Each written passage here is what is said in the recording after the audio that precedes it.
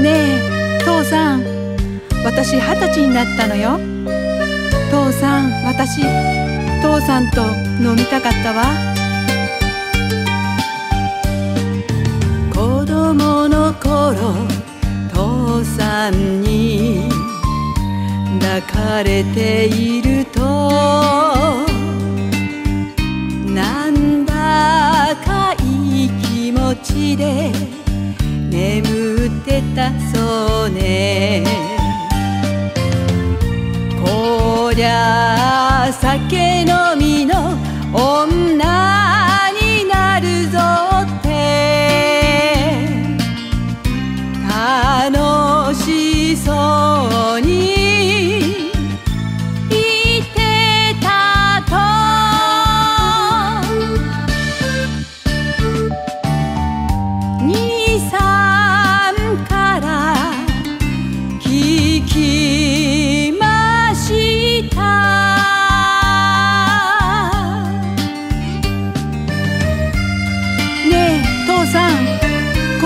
の文化祭覚えてる？打ち上げでちょっぴりお酒を飲んだ夜。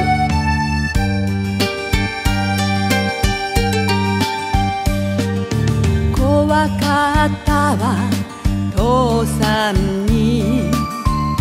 叱られた時。げんこつもらうんだと覚悟してました。体大切にしなけりゃダメだ。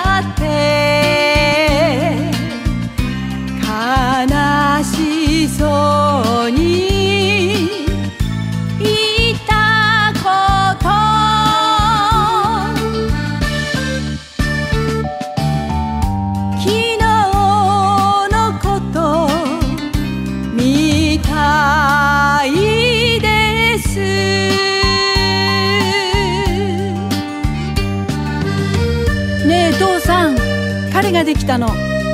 お酒を飲むとすぐに真っ赤になっちゃうの。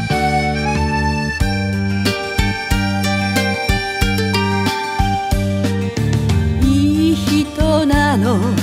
父さんに。似ていないけど。大事にするからって言ってくれました。いつか酒飲みの男はやめろって。寂しそうに言ったけど。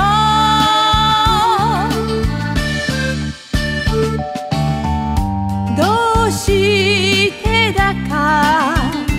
わかりそう。